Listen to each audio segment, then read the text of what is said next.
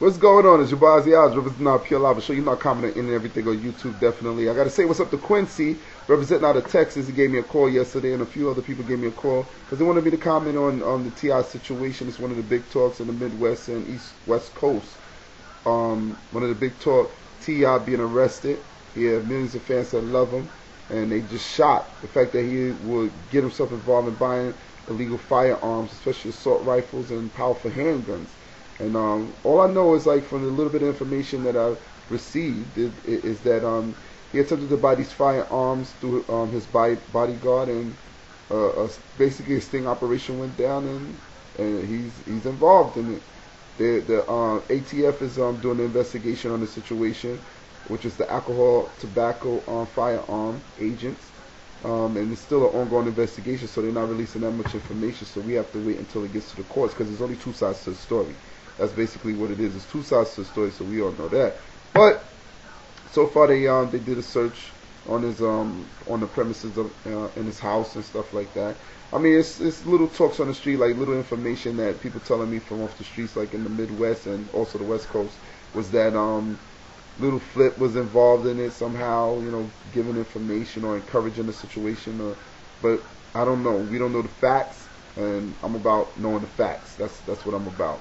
Um, my opinion on it basically is that it's it's all stupid. I can't believe T.I. would get involved and get in a situation. If he felt like his life was so much threatened, he should have had the appropriate um, security, especially a head of security. Head of security um, will be the person that will coordinate if you go on tour in different states because every state have a policy about handguns. So every it, a head of security would have coordinated a situation like when he goes on tour to hire people in that state to protect him. You know. Also, when it comes down to your own premises, of course, you got to hire the appropriate security to make sure that you're you safeguard. No reason to get involved with buying illegal handguns.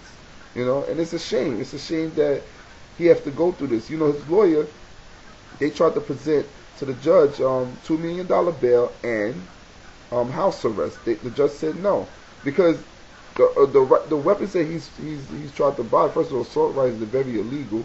Um, they trying to charge for each um, firearm ten years. Ten years. And even if he have a good lawyer and get off, they said the minimum time he's gonna get is ten years. So let's say if he has six firearms, you're talking about sixty years.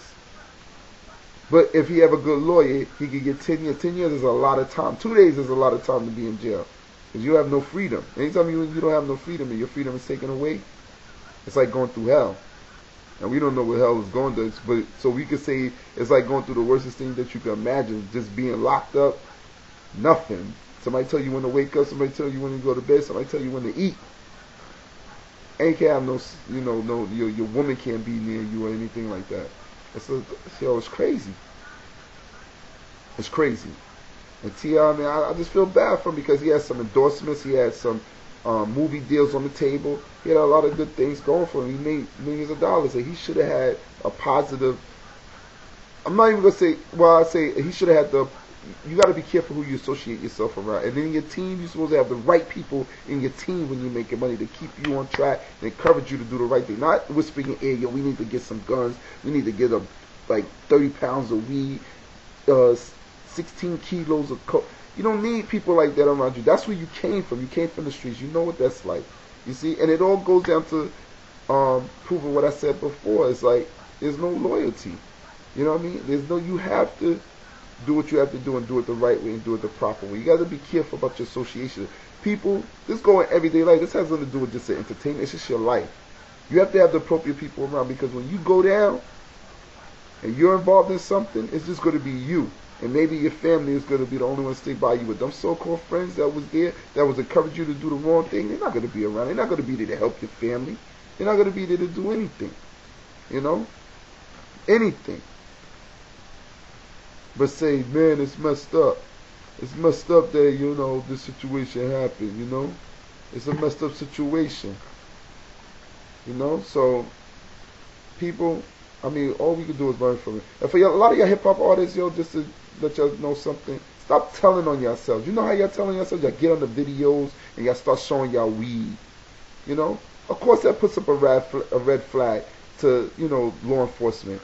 Oh, they got drugs. They carrying around drugs. Because you're telling on them, you put DVDs. I got weed in the camera. Or if you have beef with another hip hop artist and you trying to show how tough your hood is, you got your entourage and they firing handguns in the background. So you only drawing attention to yourself negatively. You you're drawing that attention. So you trying to show a picture one way, but the picture reading somewhere else to somebody else that's looking at it, they they had, that's information from them differently. So now law enforcement looks at it and say, wow, so these this is what goes down. They got handguns in their team. They got drugs, illegal drugs in their team. Oh, we got to look into this. We got to start, you know, really getting real deep into this hip hop thing. That's why you have the thing called the hip hop police, which y'all call the hip hop police. That's why. You're telling yourselves. Common sense. Y'all don't see it? Alright. Anyway, in any case, it's a mess up situation. I hope T.I. gets through it, and I hope he learns from it, because I'm pretty sure he's crying in jail right now. I'm telling you, he's, he's crying, man. He's saying to himself, yo, I can't believe this. I can't believe this. I'm on top of the world, and now I'm like, look where I'm at. And he probably thinking about every person that encouraged him to do something stupid. He said, yo, dang, why, why did I listen to them? Why did I listen to so-and-so? I shouldn't even did. I knew I should have. Oh, man. So you have no choice but to blame yourself. You can't blame nobody, Ti. You gotta blame yourself. Yeah, people, you have two choices in life. Either you go do go down this road or you gonna go down that road. You have two choices in life. It's like good and bad. Choose the right one. Choose it. Me personally, I've chosen the right one. I've been on those two roads, but I chose the right one, the common sense one. You know, to keep moving forward as a man and being good. I'm good. I, I'm happy. I'm content. I'm happy. I enjoy what I do. I still do with the entertainment, and I have a regular job. You know what I mean? My pride is something totally different. I've been down those roads, so that's why I could tell y'all out there, yo, stay focused.